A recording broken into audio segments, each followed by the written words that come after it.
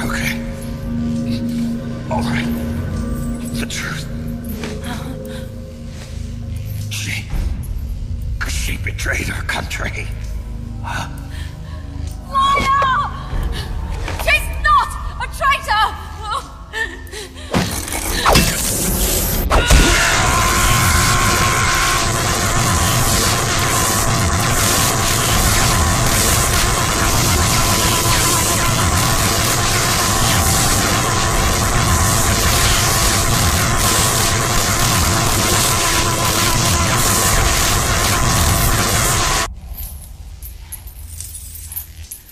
Don't understand it.